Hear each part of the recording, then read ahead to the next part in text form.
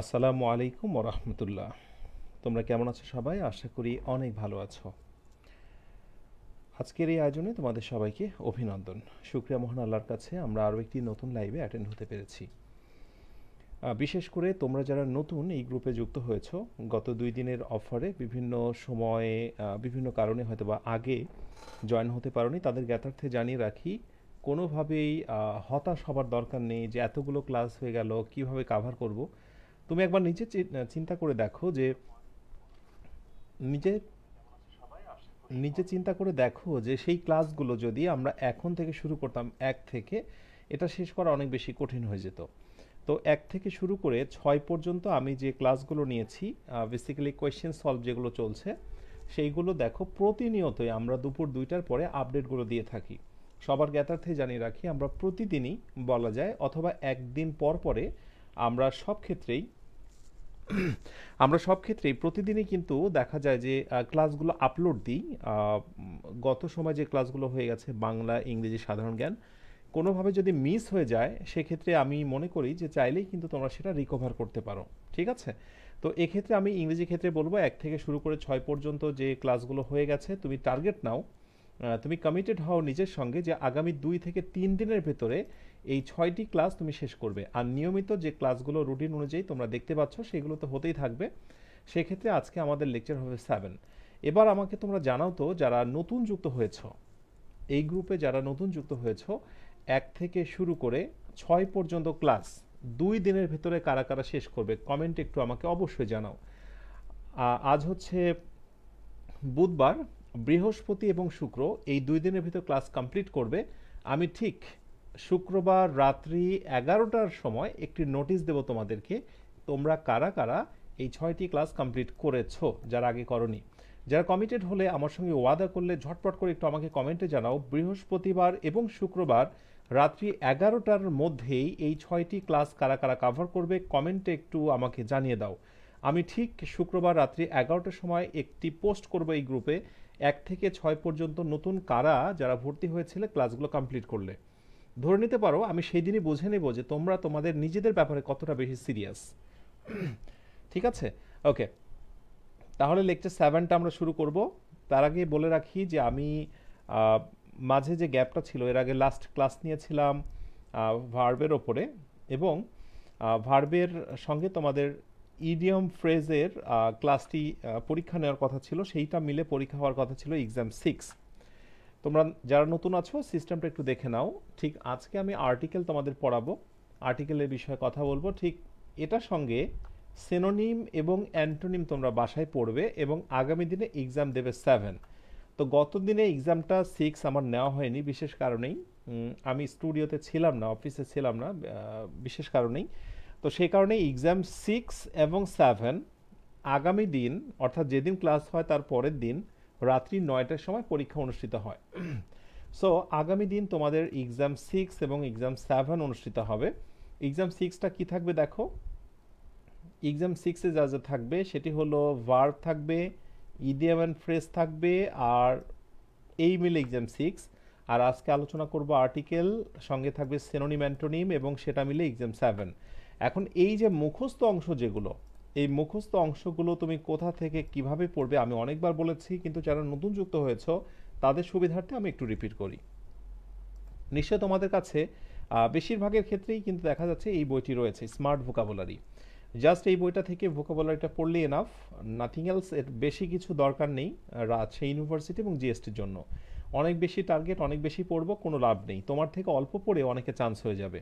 ঠিক আছে? Okay so এখানে আমি তোমাদেরকে একটু দেখাই। আমরা আগামী দিন যেটা করব, এই বইটা আমি জাস্ট খুললাম। একটু দেখো, নতুন পুরনো সবার জ্ঞাতার্থে জানিয়ে রাখি, কারণ নতুন যেহেতু টপিক রয়েছে। ওকে আগামী দিন কি পাবো আমরা? আগামী দিন হচ্ছে গিয়ে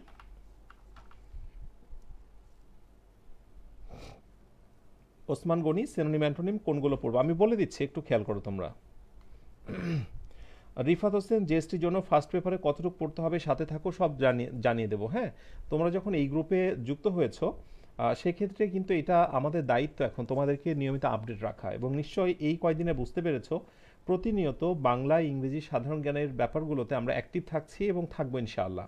প্রতিনিয়ত আপডেট ইনফরমেশনগুলো এখান থেকে পেয়ে যাবে।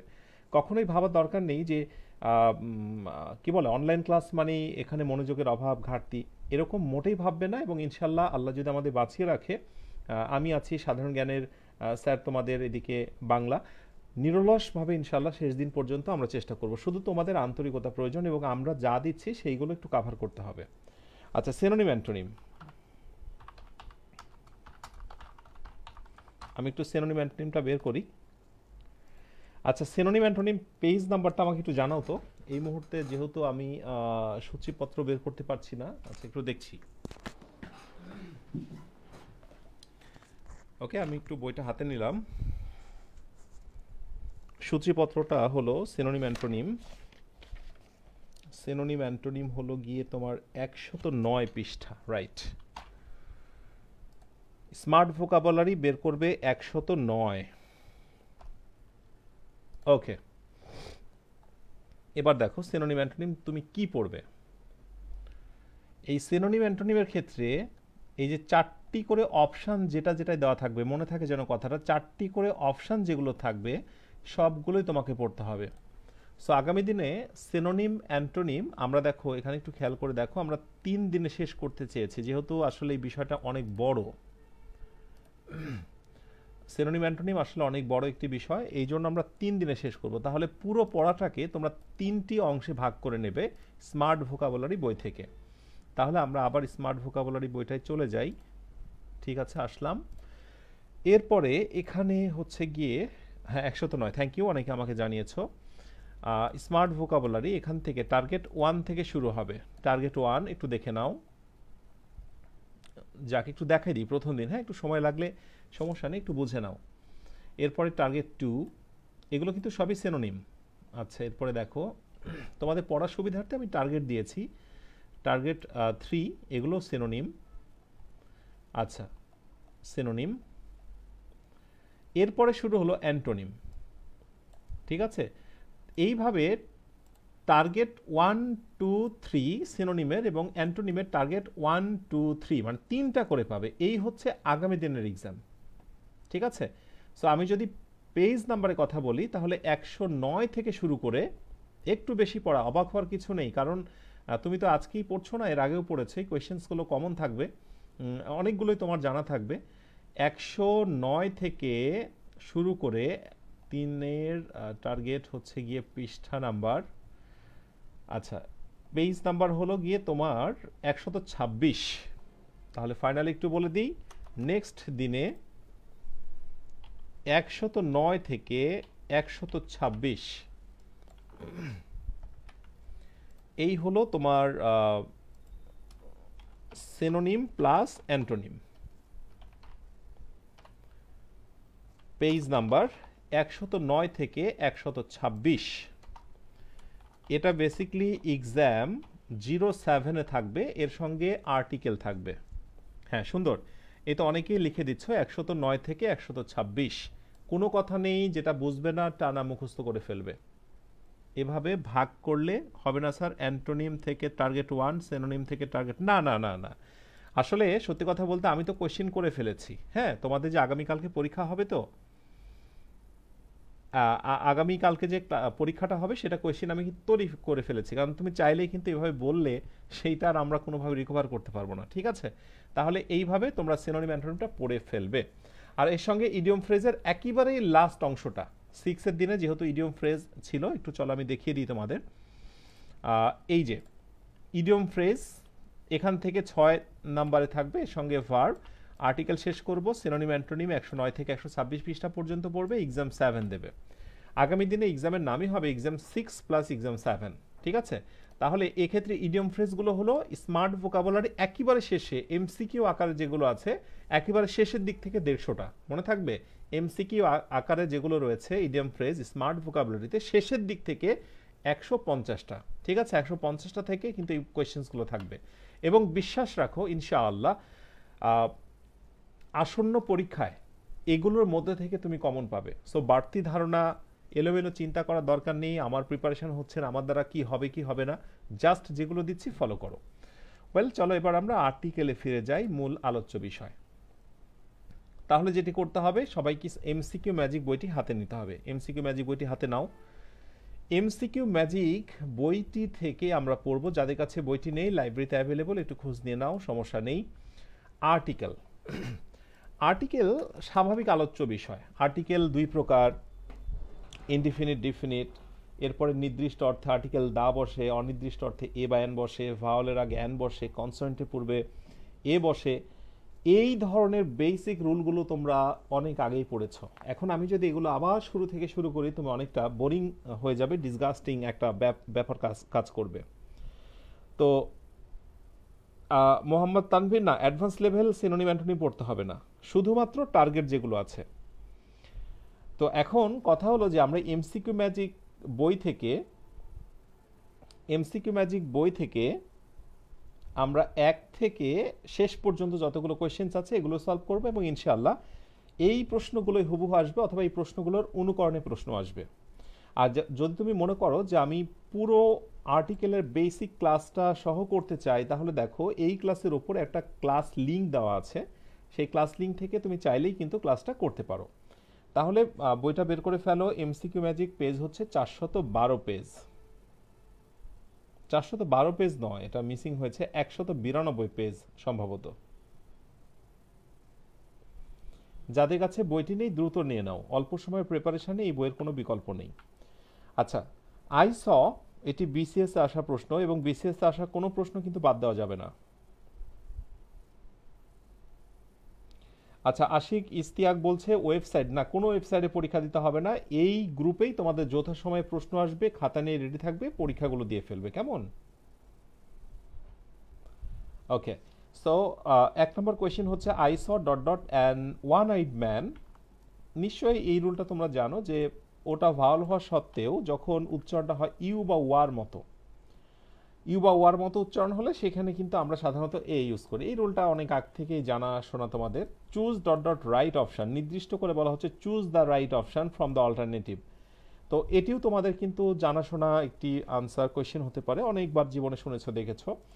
বাট এক্ষেত্রে বলি কোয়েশ্চেনটা কিন্তু একটু চেঞ্জ করে যদি দেওয়া হয় রাইট আনসারটাও একটু আলাদা হয়ে যাবে। লেটস সি ধরো, আমি যদি এই কোয়েশ্চেনটা দিই যে right option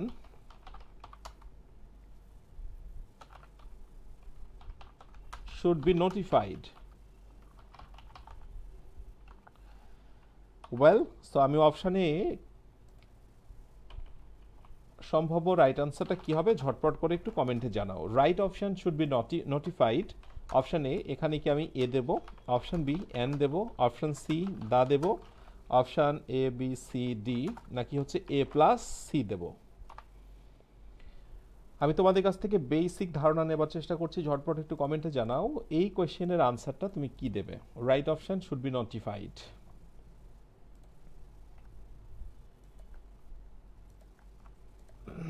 দেখা যাক। অনেক সময় হুবহু কোয়েশ্চেন না এসে একটু ঘুরে আসতে পারে, সেক্ষেত্রে অবশ্যই এই বিষয়গুলো মাথায় রাখতে হবে। আচ্ছা আরাফ টেক্সট বুক থেকে তুমি পড়তে থাকো। আমাদের প্ল্যান হচ্ছে টেক্সট বুক রিলেটেড কিছু কোয়েশ্চেন্স দেখানো, দেখিয়ে দেবো কোন অধ্যায়গুলো, কোন লেসনগুলো যদি সেগুলোই তোমাকে পড়তে হবে, আর অল্প দিনের ভিতরে আমি সেই লেসনগুলো এবং ইউনিটগুলো আমি বলে দেবো। আরাফ। ওকে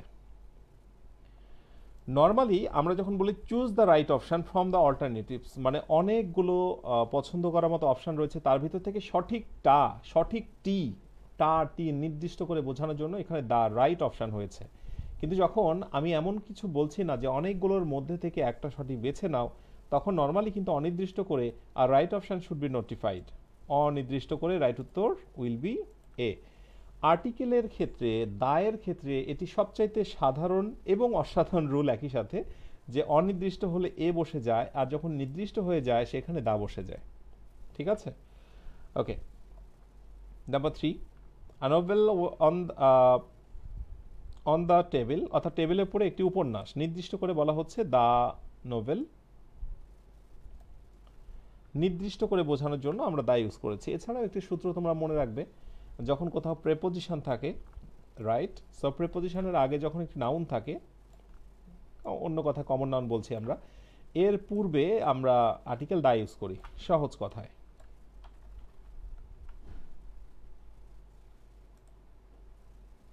তার মানে প্রেপোজিশনের পূর্বে আমরা যখন একটা নাউন পাই, তার পূর্বে একটা দা বসাই। এরকম এক্সাম্পল তোমরা দেখেছ এর আগে। যেমন this is go of the world বলো, এখানে আর্টিকেল কি বসাবে? This is dot dot go of the world hmm, Ashikur Rahman Ashiq comment করেছ। আচ্ছা স্যার, রাইটের আগে কি হিসে, কি বসবে? মাহমুদুল হাসান। রাইটের আগে? আর রাইট, আমি তো বসেই দিলাম। এ রাইট বসবে। সুন্দর। This is the go of the world এটা বাংলা যারা জানো, একটু কমেন্টে না জানালে সমস্যা নেই, মনে মনে ভাবো এটার বাংলাটা কি। আর আমার সঙ্গে মিলে নাও। This is the go of the world এটার বাংলা হলো এটাই জগতের রীতি। অনেক সময় কিন্তু এটা আসে। আবার এই কোয়েশ্চেনটা অন্যভাবে অ্যাডমিশন টেস্টে আসতে পারে। This is the go of the world গোয়ের নিচে আন্ডারলাইন করে বলবে যে এই গোয়ের নাম কি? অপশান এ এটি কি ভার্ব অপশান বি এটা কি নাউন আরও আরও অনেক অপশান এই প্রশ্নটা অনেকবার এসেছে। একটু নিজেরা ফিল করো। This is the go of the world গোয়ের নিচে আন্ডারলাইন করলে এটার নাম কি? যেহেতু আর্টিকেল রয়েছে আর্টিকেলের পরের শব্দটি কি হয়? নাউন হয়। সো এই কথাটাই ঘুরে ফিরে আসছে। তুমি খেয়াল করে দেখো, এই হচ্ছে আর্টিকেল আর্টিকেলের পরের শব্দটি নাউন কমন নাউন নাউন তো নাউন ছাড়া তো অন্য কিছু নয়। এবং তারপরে হচ্ছে প্রেপোজিশন সো এই প্রশ্নগুলোও কিন্তু অনেক সময় ঘুরে ফিরে আসে। অনেকবার এসেছে এই প্রশ্নটা। থ্যাংক ইউ সো মাচ যারা রাইট আনসার দিয়েছ। আচ্ছা স্পোর্টস পিপল শুড আচ্ছা ক্রীড়াবিদ যারা স্পোর্টস পিপল ক্রীড়াবিদ শুড মেনটেন মেনটেন করা উচিত। কি মেনটেন করা উচিত? ওয়েল ব্যালেন্স ডায়েট একটি সুষম খাবার right B number and have an egg in the morning এবং প্রতিদিন সকালে একটি করে ডিম খাওয়া উচিত। যারা স্পোর্টস পিপল ক্রীড়াবিদ আছে, তাদের অবশ্যই সুষম খাদ্য এবং প্রতিদিন সকালে একটি করে ডিম খাওয়া উচিত। এক্ষেত্রে বলে রাখি, তোমরা যারা মেসে অবস্থান করছ, বাড়িতে নয় মেসের খাবার দাবার একেবারে সেই রকম হয়। কিছু জায়গায় ভালো, বাকি জায়গাগুলো তো জঘন্য মানের হয়, সেটা আমি জানি। জীবন থেকে লাইফ থেকে শিখেছি। কিন্তু কিছু করার নেই। ধরে নাও, এগুলো তোমার জীবনের সফল হবার পর গল্প বলার মতো একটি স্কোপ তৈরি করে দিচ্ছে যে তুমি তোমার জীবনে সফল হয়েছ। সফল হবার পূর্বে কোন জিনিসগুলো তোমাকে বিরক্তিকর মনে হয়েছিল? কোন জিনিসগুলো তোমাকে বেশি খারাপ লেগেছিল? সফল হওয়ার পর যখন তোমার জুনিয়রদের সঙ্গে বলবে মোটিভেশনাল কথা বলবে, তখন এইগুলো তোমার জন্য অনেক বেশি শিরোনাম হবে। এই গল, এই ঘটনাগুলো। তো সেই ক্ষেত্রে যারা মেসে থাকো, আমি যেটা বলছিলাম অ্যাটলিস্ট কিছু না হোক, পড়াশোনা করছ ভালো কথা, একটা করে ডিম কিন্তু কিনে খেতে পারো। একটা করে ডিম তোমরা কিনে খেতে পারো, ডিমের দাম যাই হোক, আহামরি অনেক বেশি নয়, একটা করে ডিম খাবে এবং কমপক্ষে দুইটি করে কলা খাবে, ঠিক আছে? কারণ মেসের খাবার যেহেতু এখন বর্তমানে নিউট্রিয়াস ভ্যালুগুলো অনেক কম, হুম হ্যাঁ প্রিয়ম প্রিয়ম গুপ্ত হ্যাঁ তুমি বলতেই পারো ব্যালান্স ডাইট ব্যালান্স ডাইট এটি হচ্ছে কোলোকেশনের মতো, এই বসে সব সময় নাম্বার ফাইভে আসি এবার। The article the is used article কোথায় বসে? এ নাম্বারে বলা হচ্ছে টু মেক সামথিং স্পেসিফিক সহজ কথায় তোমরা এটা মনে রাখবে the is equal to specific এই কথাটা একটু পারলে তোমরা খাতায় নোট করে নাও। ঠিক আছে? যেখানে স্পেসিফিক থাকবে সেইটাই হচ্ছে রাইট উত্তর। দা ইজ ইকুয়াল টু কি বললাম? স্পেসিফিক, একেবারে নির্দিষ্ট। দেখো স্পেসিফিক কিন্তু শুধুমাত্র এই নাম্বারে আছে, বাকিগুলোতে জেনারেল, রিয়েল, মিনিং এটসেট্রা কেমন? ওকে অ্যান্ড নাম্বার সিক্সে আসো। There are a lot of dangerous drivers hmm a lot of মানে প্রচুর dangerous drivers a very lot হয় না। লট অফ একটু বুঝতে হবে ডিটারমিনের ব্যবহারটা। A an R indefinite article এটা তোমরা জানো। এ এনকে বলা হয় ইনডিফিনিট আর দিকে বলা হয় ডিফিনিট আর এখানে আসো he made a few mistake সে কিছু ভুল করেছে। He made a few mistakes সে কিছু ভুল করেছে। আরেকটি কথা হলো, যদি আমি ফিউয়ের আগে আর্টিকেল ইউজ না করতাম, আমি যদি এখানে ক্রস দিতাম, তোমরা কি জানো এটার অর্থ কি হতো? যদি আমি ফিউয়ের আগে আর্টিকেল ব্যবহার করি, অর্থটা হবে হাবোধক ফিওর আগে যদি আর্টিকেল ব্যবহার না করি, অর্থ হয়ে যাবে, না, বোধক হি মেড ফিউ মিস্টেক্স সে ভুল করেনি he made a few mistakes সে কিছু ভুল করেছে। নিশ্চয় বুঝতে পেরেছ? এইগুলো অবশ্য অনেক সময় বোঝা যায়, দেখলেই বোঝা যায়। একই প্রশ্নগুলো কোয়েশ্চেন্সগুলো বারবার করা যাবে না, শুভ।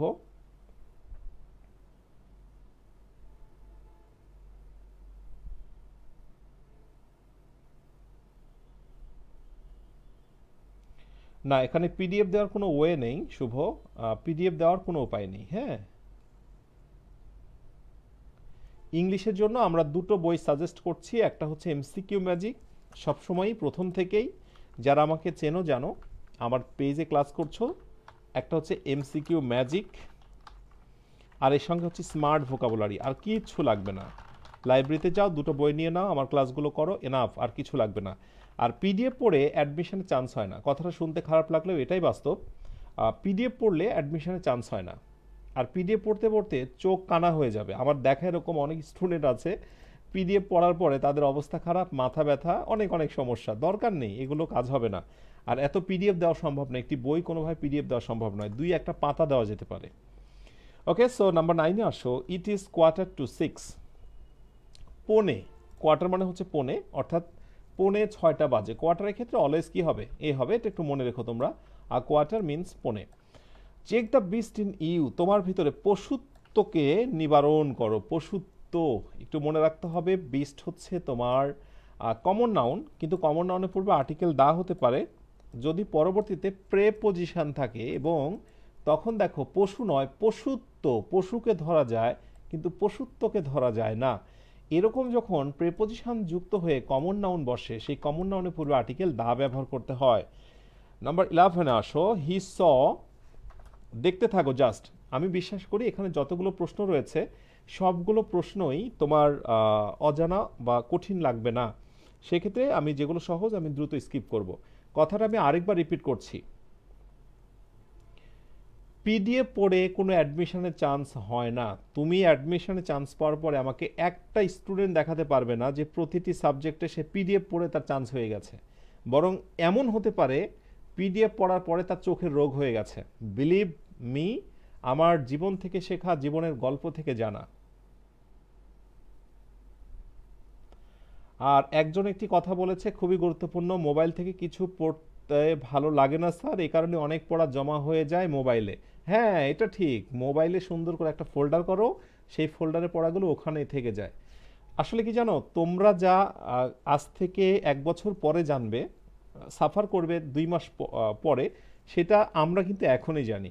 এবং সেইখান থেকে বলতে পারো যে অ্যাটলিস্ট এই বিষয়গুলোতে আমরা দক্ষ, অভিজ্ঞ, ঠিক আছে? সো কিছু ক্ষেত্রে তুমি যতই জ্ঞানী হও না কেন, কিছু ক্ষেত্রে যে জ্ঞান রাখো না, এইটুকু তো মেনে নাও। আচ্ছা eleven number he saw most wonderful sight এই কোয়েশ্চেনটা খুব খুব কনফিউজিং একটি প্রশ্ন।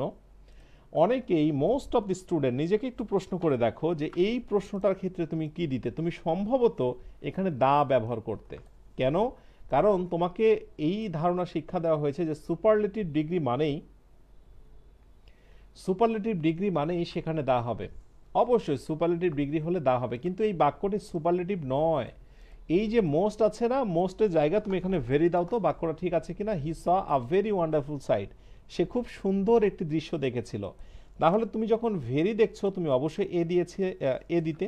তাহলে মনে রেখো, যখন এখানে মোস্ট দেখতে পাচ্ছ, এতে একটি অ্যাডভার্ব এবং তার পরিবর্তে তুমি এখানে ভেরি ব্যবহার করতে পারবে। এই জন্য বাক্যটা দেখতে সুপারলেটিভ মনে হলেও বাক্যটা কিন্তু মূলত পজিটিভ আর এক্ষেত্রে মোস্টের পূর্বে এই জন্য তোমাকে এ ব্যবহার করতে হবে।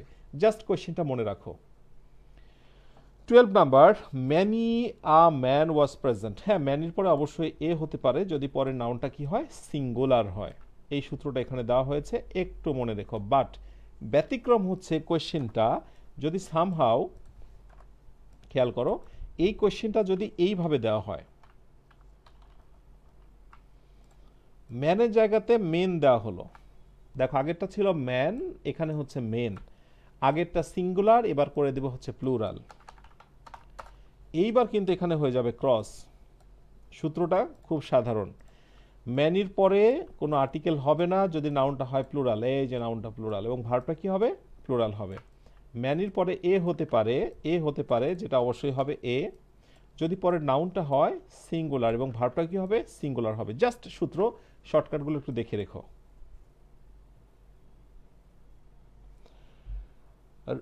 রামি আক্তার হ্যাঁ নতুন যারা যুক্ত হয়েছে, সবার জ্ঞাতার্থে বলে রাখি বইটা নিয়ে নাও। এমসিকিউ ম্যাজিক এবং স্মার্ট ভোকাবুলারি আমি সবার শেষে বই দুটো ছবি দিয়ে দেবো। কোথায় পাওয়া যাবে সেটা নিয়েও কথা বলব। আচ্ছা এবার আসো number C sorry thirty number এই কোয়েশ্চেনটা খুব খুব important choose the correct answer সঠিক আনসারটি খুঁজে বের করো। He is in a temper সে খুব রাগান্বিত। সবসময় কোলোকেশন ইন আ টেম্পার একসাথে বসবে। এখানে বিশেষ কোনো সূত্র দিয়ে বোঝানো যাবে না। This book is the one নির্দিষ্ট করে দেখো ওয়ানের আগে কিন্তু নর্মালি তোমরা এর আগে এ দেখেছিলে, যে ওয়ান আইড ওয়ান টাকা হ্যাঁ? যেমন আই নিড ওয়ান টাকা। যদি আমি এই কোয়েশ্চেনটা দিই তোমাদের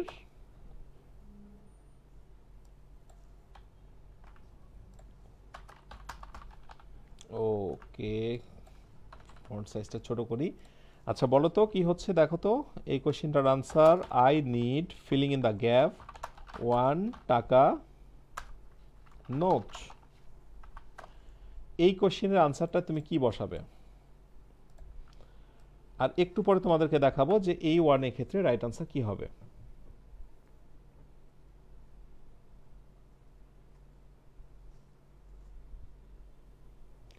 I need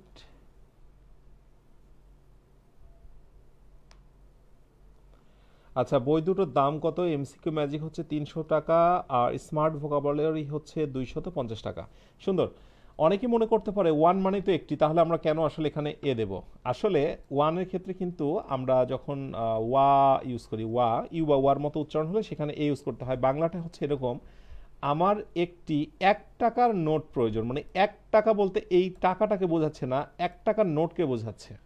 So I need a one taka note দেখো, এখানে ওয়ানের পূর্বে তুমি এ দিচ্ছ বাট এখানে ওয়ানের পূর্বে দা দিচ্ছ কেন? বিকজ স্পেসিফিক করছ, নির্দিষ্ট this book is the one is the one book তার মানে কথাটা ঠিক এরকম, যে this book is the one book বুকটা কিন্তু নির্দিষ্ট হলো, দেখো একবার আরেকবার নির্দিষ্ট। এরকম নির্দিষ্ট অর্থে ওয়ানের পূর্বে কি বসতে পারে? দা বসতে পারে। মনে থাকবে? নাম্বার ফিফটিন পনেরো নম্বরে আসো। সিং দ্য বেবি শিশুটিকে দেখে the mother rose in her তার ভিতরে মাতৃত্ব জেগে উঠল। যখন মা নয়, মাতৃত্ব, পিতা নয়, পিতৃত্ব, পশু নয়, পশুত্ব। এরকম অ্যাবস্ট্রাক্ট নাউন হয়ে যায় কমন নাউনগুলো তার পূর্বে দা দিতে হয়। ঠিক আছে? Louis fourteen was Louis the fourteen হ্যাঁ যখন এরকম তম উল্লেখ করা হয় বাংলায় যে দশতম, এগারোতম, বারোতম। হ্যাঁ সুন্দর। লুবাব তাসনিম লিয়া, আমার একটি এক টাকার নোট প্রয়োজন, সুন্দর।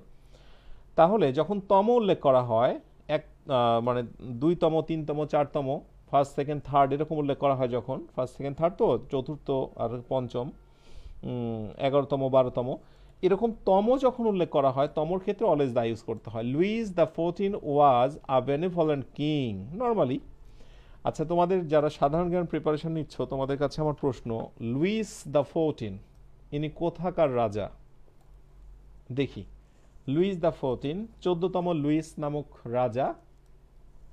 ইনি কোথাকার রাজা? হুম, মাহমুদুল হাসান দ্য ফোরটিন, ঠিক আছে। ঝটপট করে একটু জানাও তো দেখি, লুইস দ্য ফোরটিন, উনি কোথাকার রাজা?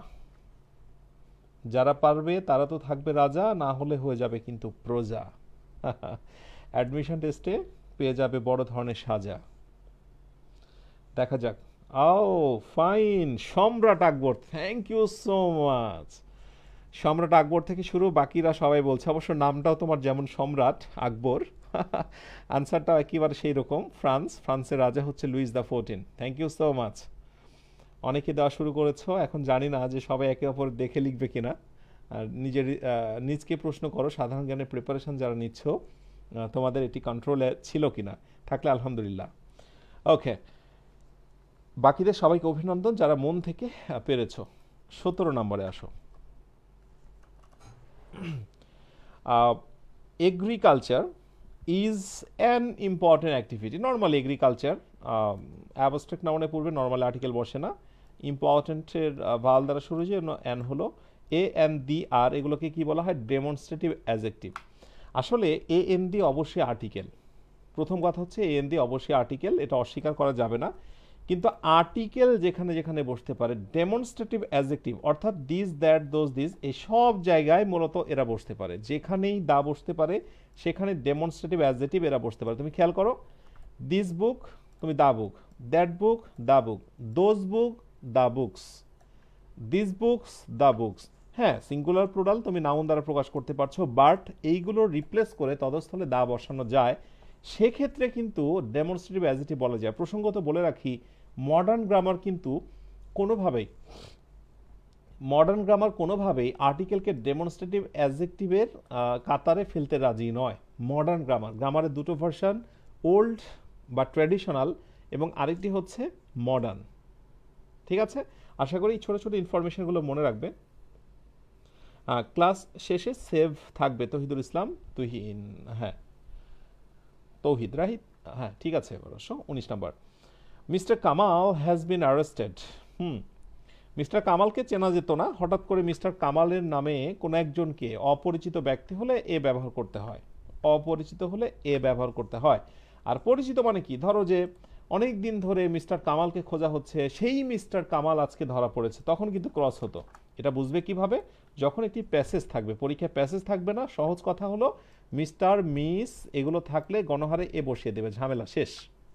এটা হচ্ছে সহজ সমাধান। Twenty number he went to hospital তোমরা এটা জানো হসপিটাল স্কুল কলেজ এগুলো পূর্বে সাধারণত আর্টিকেল বসে না অসাধারণ হলে হ্যাঁ, ব্যতিক্রম ক্ষেত্রে বসে। আচ্ছা he had a heart attack heart attack কোলোকেশনের মতো। একটু দেখে নিও। নির্দিষ্ট এই শব্দগুলো, এই ডিজিজগুলো পূর্বে অবশ্যই আর্টিকেল বসে। A cold a cough a fever a heart attack etcetera এই কয়টা মনে রেখো ইনশাল্লাহ কাজে দেবে। কেউ কেউ কিন্তু অযথা কমেন্ট করছ, একে অপরের মানে রিপ্লাই দিচ্ছ, দয়া করে এগুলো করার দরকার নেই। সবার শেষে আমি কোন বই নিতে হবে, কোথা থেকে পাবে এগুলো জানিয়ে দেবো। জাস্ট ক্লাস করতে থাকো। The mother rose in heart তার ভিতরে মাতৃত্ব জেগে উঠল। কোয়েশ্চেনটা কমন মা নয় কিন্তু মাতৃত্ব, যেহেতু বাংলায় মাতৃত্ব অ্যাবস্ট্রেক্ট নাউন হয়েছে, তাই কিন্তু দা ইউজ করা হয়েছে। He is European right European so you বা ওয়ার মতো উচ্চারণ হলে ভালো থাকা সত্ত্বেও এ বসে। একেবারেই ছোটোবেলা থেকেই এই ধরনের রুলটা তোমরা শিখেছ।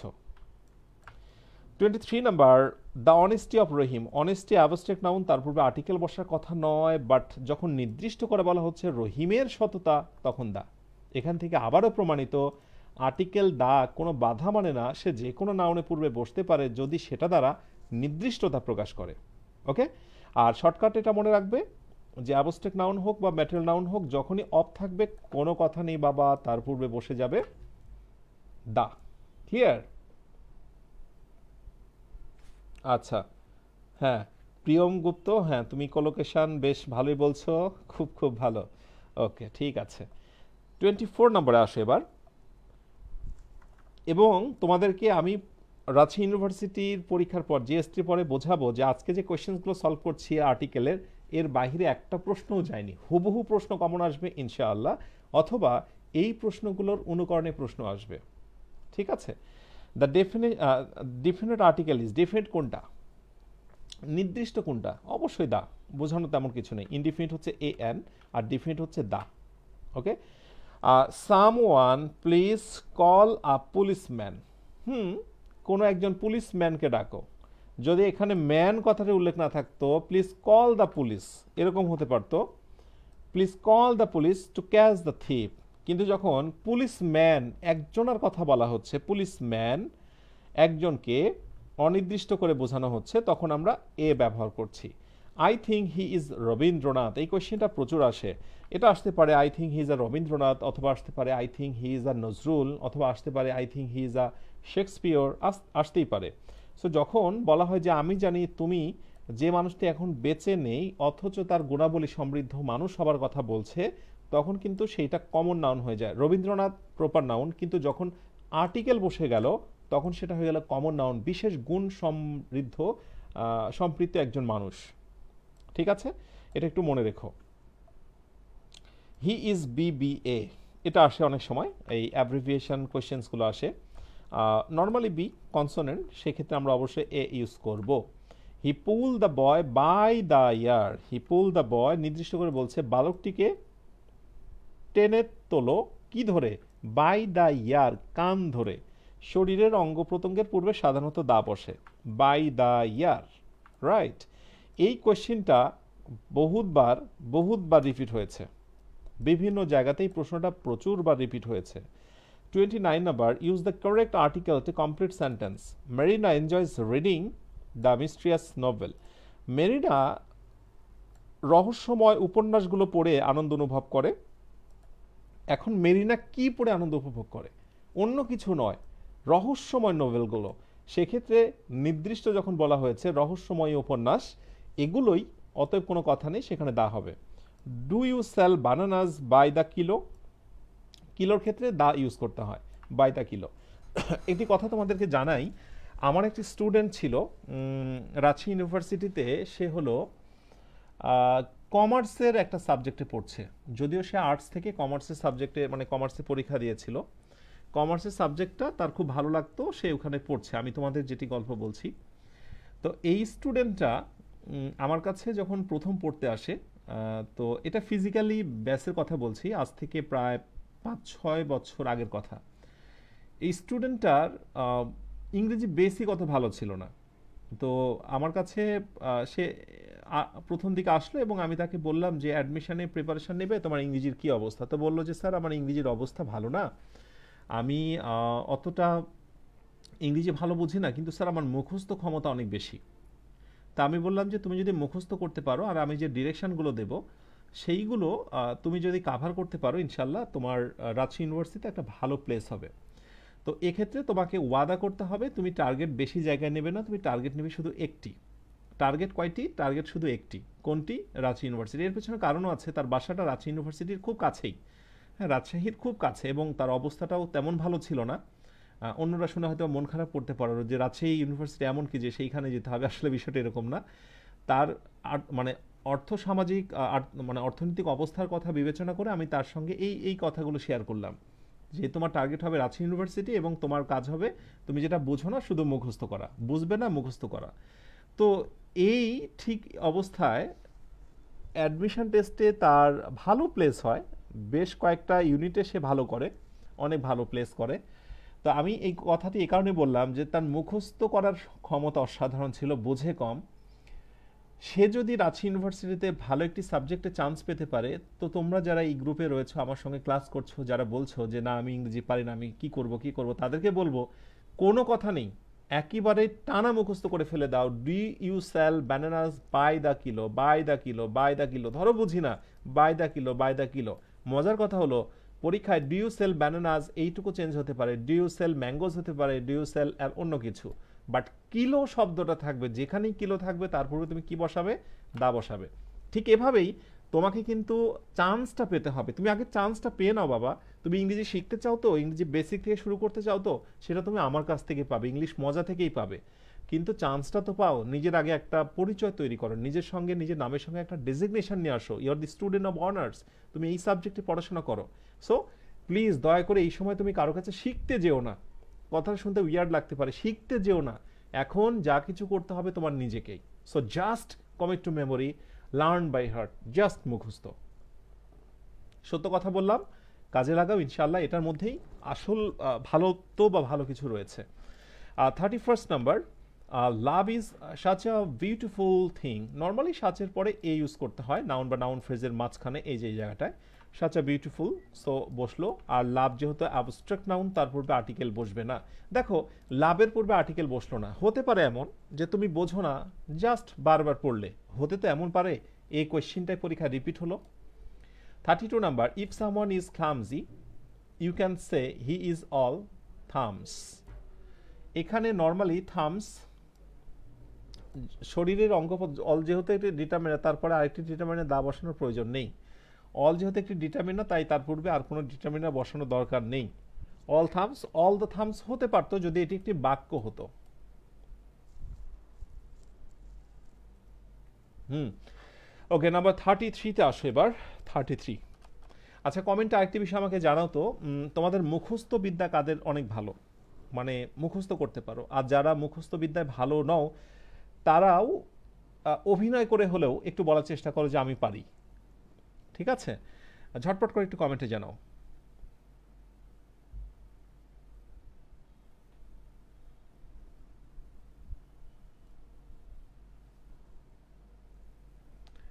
ঝটপট করে আমাকে একটু কমেন্টে জানাও। মুখস্থ বিদ্যা কাদের বেশি আর যাদের মুখস্থ বিদ্যা কম বিদ্যা কম তারা অভিনয় করে আমাকে বলো যে, না, আমি পারি, আমার দ্বারা সম্ভব। কেন আমি অভিনয়ের কথা বললাম? কারণ হলো, শিব খেরা একটি কথা বলেছেন মোটিভেশনাল স্পিকার এবং ওনার বিখ্যাত একটি বই রয়েছে ইউ ক্যান উইন তোমরা অনেকে জানো, পড়েছ। সেখানে একটি কথা ছিল যে, তুমি সাহসী নও, সেটা ঠিক আছে। কিন্তু অভিনয় করেও যদি ভাব দেখাও, আমি সাহসী।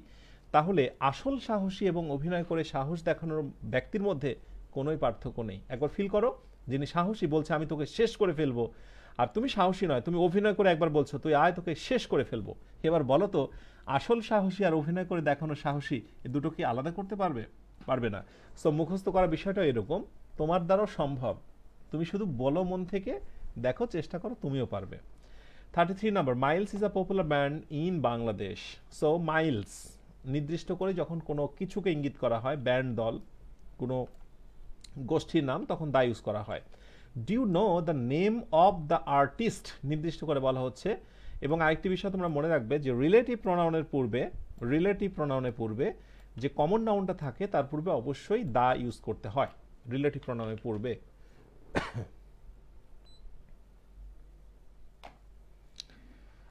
Number thirty five this is rather a different question hmm এটা বরং একটি ভিন্ন ধরনের প্রশ্ন, একটি ভিন্ন ধরনের অর্থ, এখানে একটি গুরুত্বপূর্ণ বিষয়।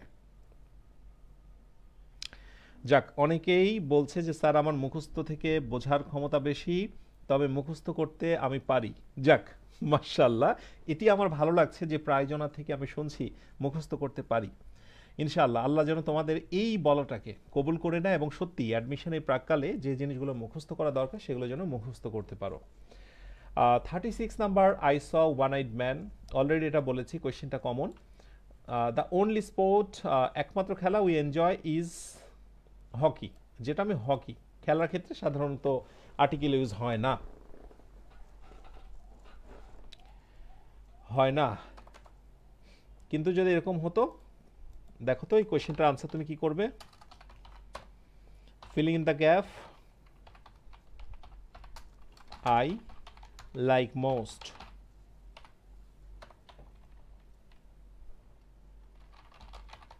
game I like most তারপরে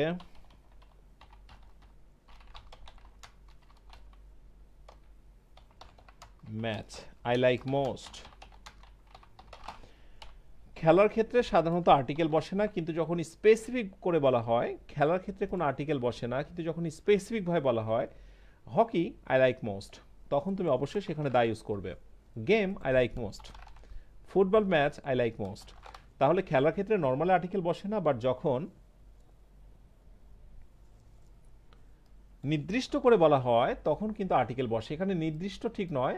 The only sport we enjoy is hockey যদি নির্দিষ্টটা পরবর্তীতে আসতো, যে the hockey I like most তাহলে কিন্তু সেখানে আর্টিকেল হতো। এইটা একটু ব্যতিক্রম, কারণ অনির্দিষ্টতার মতো এই বিষয়টা অনেকটা।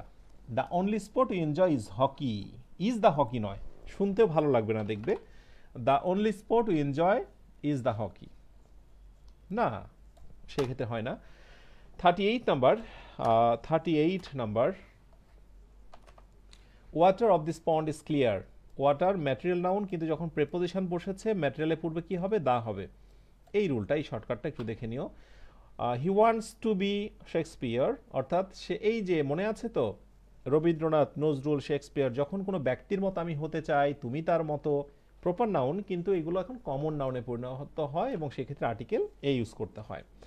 Forty number he prefers European country for spending his vacation European you বা ওয়ার মতো উচ্চারণ হলে সেখানে এ ইউজ করতে হয়।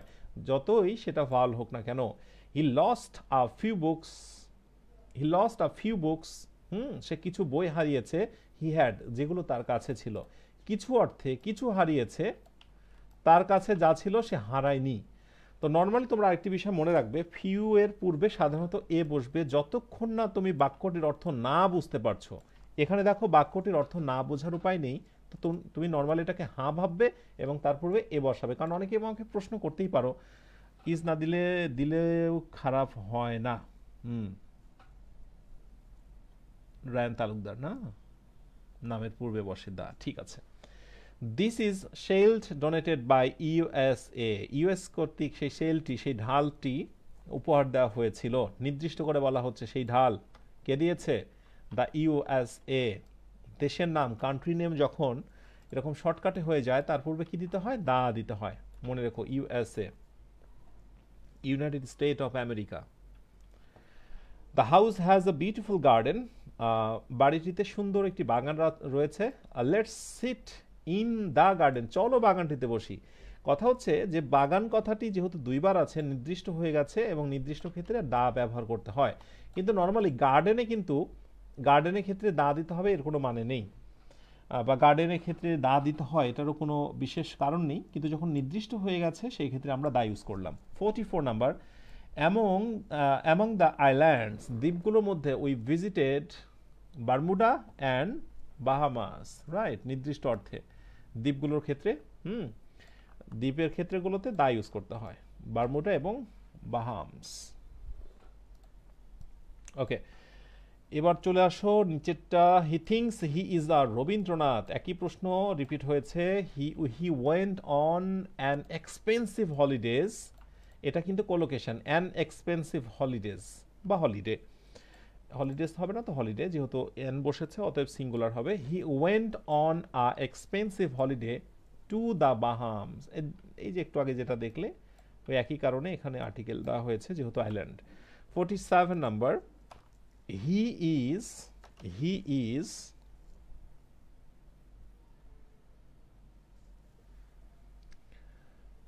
এরপরে চলে আসো he is an M A in English নিচের অ্যাব্রিভিয়েশনের ক্ষেত্রে কোন আর্টিকেলটি ঠিক আছে, এইটা একটু খেয়াল করতে হবে তোমাকে।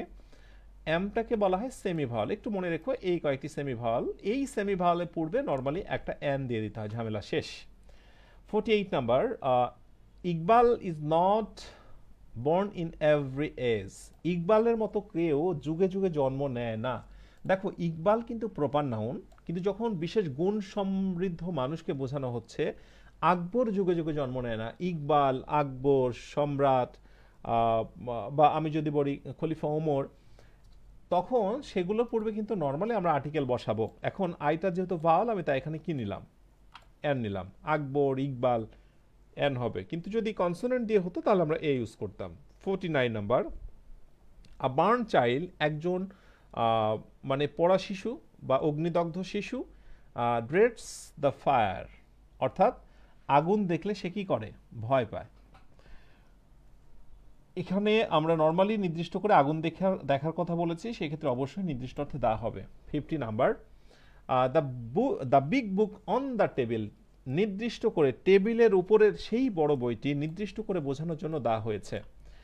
Forty five number I will be with you in a quarter of an hour পৌনে এক ঘণ্টার ভেতর আমি তোমার সাথে থাকব। কোয়ার্টারের ক্ষেত্রে নর্মালি এ ইউজ করতে হয়। তোমরা প্রথম দিকে জেনেছো সেটা। Fifty two number and finally আমরা কিন্তু শেষের দিকে। We are moved not by the fall of a great man, by the elevation of horizon of what he had taken to be a little man. Normally গ্রেটের ক্ষেত্রে article এ use করতে হয় আ great man এবং ম্যানের পূর্বে a little man and fifty three number I cannot forget the kindness with প্রেপোজিশনের পূর্বে যখন অ্যাবস্ট্রেক্ট noun থাকে, সেখানে আর্টিকেল দা ইউজ করতে হয়। তো এখন কথা হলো যে তোমরা যারা নতুন যুক্ত হয়েছো, পুরনোরা তো অবশ্যই জানো, ক্লাসটি শেষ হলেই তোমরা সর্বদাই যে কাজটি করবে, আগামী দিনে আমাদের লেকচার কত আছে বলো তো? লেকচার আছে হচ্ছে জিরো এইট জিরো জিরো এইটে কী নিয়ে আলোচনা আছে? চলো আমরা একটু দেখিয়ে দিই। জিরো এইটে কী নিয়ে আলোচনা আছে? অ্যাট এ গ্ল্যান্স এক নজর একটু দেখো। জিরো এইটে আলোচনা আছে তোমাদের ট্যাগ কোয়েশ্চেন সো এমসিকিউ ম্যাজিকের ট্যাগ কোয়েশ্চেনে যতগুলো প্রশ্ন আছে, আগে একটু বাসায় দেখে নিবে। সহজ আলোচনার বিষয়। এর সঙ্গে সিনোনিম অ্যান্টোনিমটা পড়া শুরু করে দিবে। পরীক্ষা এইট হবে। মেন কথা হলো, আমি যা পড়াবো আগামী দিনে সেইগুলো অবশ্যই অ্যাট এ দেখে নিবে। আর এই যে মাস্টার প্ল্যানটা যে শিডিউল অনুযায়ী আমাদের ক্লাস হচ্ছে, এইটা আমি আজকে গ্রুপে আবার পোস্ট দিয়ে দেবো। হ্যাঁ যারা নতুন আছো, দেখে নিতে পারবে কোন দিন কোন ক্লাস আছে। আচ্ছা এইবার আরেকটি কথা বলা, সেটি হলো ক্লাস শেষে অবশ্যই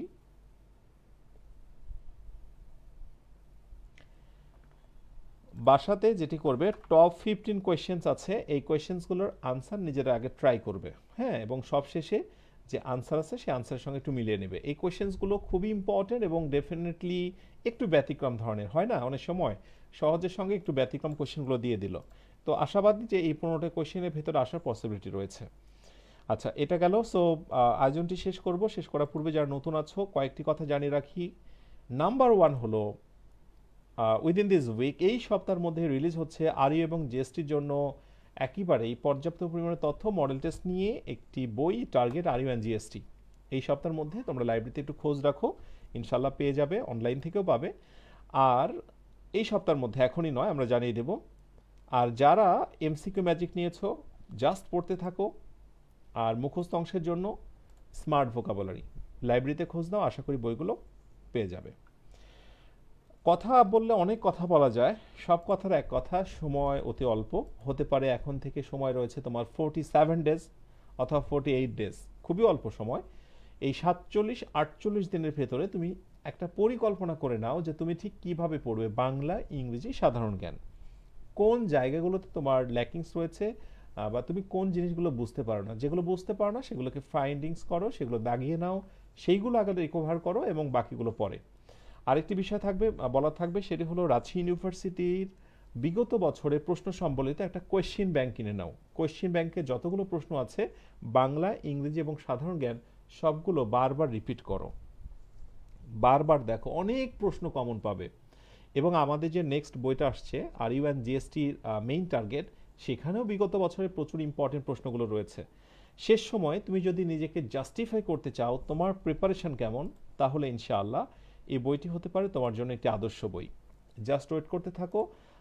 আশা করছি এই সপ্তাহের ভেতরে আমি তোমাদের জানিয়ে দেব বইটা কোথায়, কখন পাচ্ছ, কীভাবে পাচ্ছ, বইটির দাম কত হবে, নানাবিধ কথা। তাহলে আজ এ পর্যন্তই। ইনশাআল্লাহ পরবর্তী দিনে তোমাদের সঙ্গে আবারও কথা হবে। ভালো থেকো সবাই। আসসালামু আলাইকুম ওরহমতুল্লাহ